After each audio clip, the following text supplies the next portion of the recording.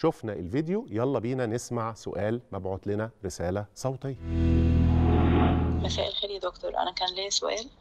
آه، أنا عندي ولد عنده ست سنين. آه، رحت أدربه كونغ فو. فالمدرب بتاعه قال لي إن هو عنده فرط حركة وتشتت انتباه مش بيركز معاه في الحركات ومش بيسمع الكلام بتاعه. مع إن هو بيتدرب رياضة تانية اللي هي السباحة ماشي فيها كويس الكابتن بتاعه مش بيشتكي.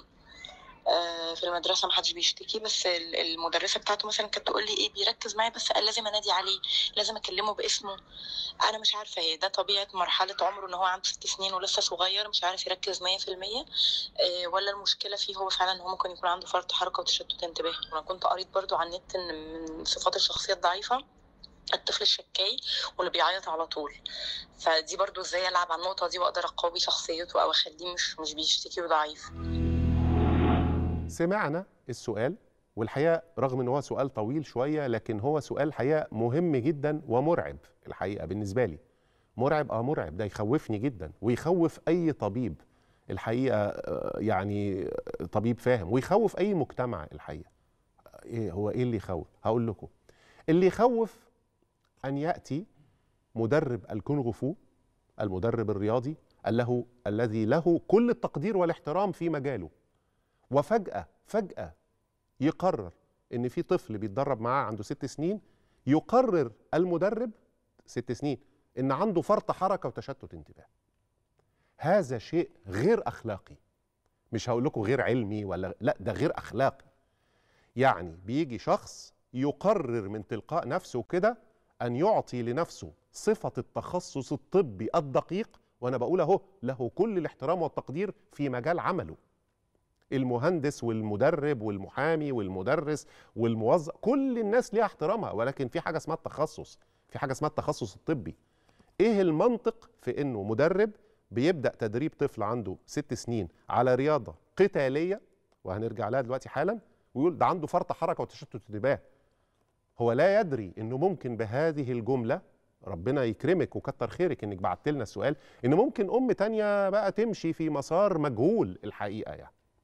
والحقيقة إنه يعني الغريب إنها بتقول إن هو بيمارس رياضة تانية وهي السباحة وماشي فيها كويس. يعني الحمد لله بقى إن مدرب السباحة هنا يعني راضي عن ال- الموضوع. تمام؟ والمدرسة اللي هي بقى أكتر حد بيتعامل مع الطفل بتقول بيركز معايا بس لازم أنده عليه باسمه. كثير جدا من الأطفال في بداية ال- ال- ال- المراحل التعليمية الدراسية اللي هي ما بعد الحضانة بيحتاجوا للحكاية دي. بيحتاجوا إنك تكلميهم هم. عشان ينتبهوا أكتر وعشان يفهموا أكتر والكلام ده كله. دي مش حاجة مرضية. فمبدئيا حضرتك مش محتاجة أي أي تخصص في حاجة لأن اللي بتوصفيه يعني شارح نفسه. ولكن حضرتك محتاجة حاجة ضرورية وهي أن تتوقفي عن دروس الكونغ فو أو الرياضة القتالية. والحقيقة أنا عايز أسأل هو إيه الشغف؟ يعني أنا مش ضد الرياضات القتالية أو الرياضات اللي هي الحركية اللي من النوع ده.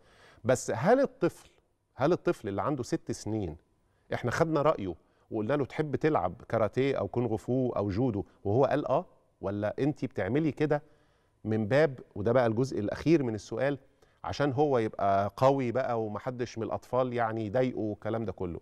إذا كان ده الغرض أبشرك إنك ماشية في طريق خطأ.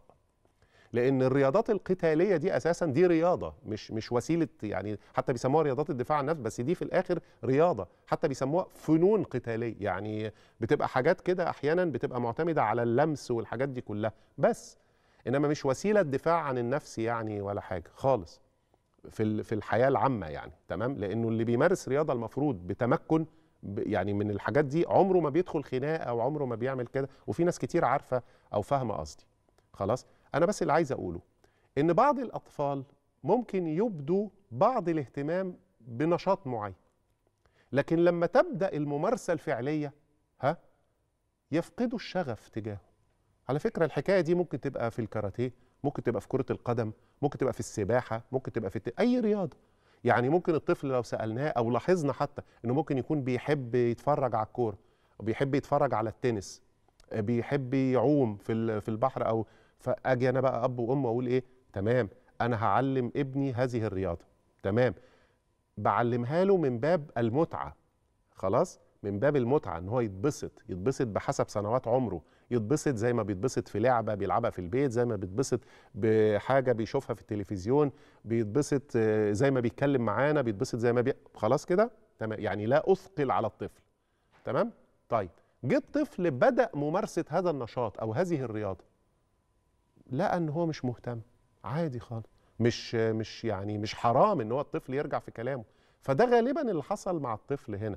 أنا بفترض كمان إن الطفل أبدى نوع من الاهتمام بإن هو عايز يمارس هذه الرياضة. بفترض ده مش إن إحنا اللي قررنا له يعني. تمام؟ هو أبدى اهتمام. حلو. لما بدأنا الرياضة فعلا مش مش عاجباه. خلاص ما يلعبهاش. بمنتهى البساطة. كده آه كده. هي كده ما يلعبهاش. مش لازم أحاول معاه بقى والمدرب يقول ده عنده فرط حركة. يعني يعني ربنا يكرمك. آه، طلع علينا رياضيين ممتازين طلع علينا أبطال طلع علينا أطفال بيحبوا الرياضة وبيحافظوا على صحتهم. بس ما ما تدخلش في مجال آخر غير تخصصك بهذه الفجاجة الحقيقة وبهذا التجاوز. إن أنت تيجي تقول لأم عنده فرط حركة وتشتت انتباه. ليه؟ عشان ما بيسمعش التعليمات اللي هو أصلا ممكن ما يكونش مهتم بالرياضة دي أصلا. فيبقى فجأة كده الطفل ده عنده فرط حركة وتشتت انتباه والكلام ده كله طبعا ده كلام مش مظبوط. الشخصية الضعيفة اللي حضرتك بتعمليه دلوقتي هو إنك تتحدثي عن ابنك بإنه شخصيته ضعيفة.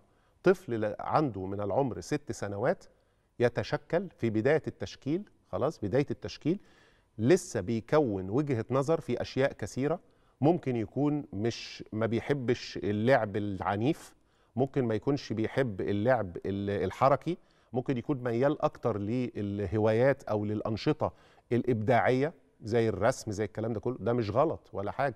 لما حد بياخد منه حاجة هو لسه مش عارف أو مش مدرب أو مش فاهم أو مش مشروح له ردة الفعل بتبقى عاملة إزاي؟ هو بيستدعي ردود الأفعال اللي هي القديمة اللي هو كان بيعملها وهو أصغر.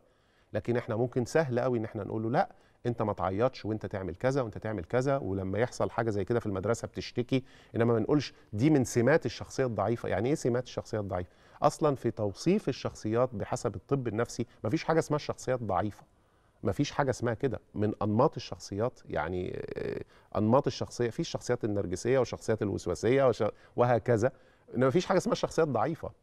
الشخصيات الضعيفة دي حاجة إحنا كده بن بن بنطبع بيها أو بنوصم بيها بعضنا البعض لما حد يبقى مثلا غير ما ميال للعنف شوية أو بيقول رأيه بعد فترة أو إن هو ما بيحبش يدخل في نقاشات جدلية فبعض الناس كده يستسهلوا يقول لك إيه؟ أصل شخصيته ضعيف. لا مش كده. تمام؟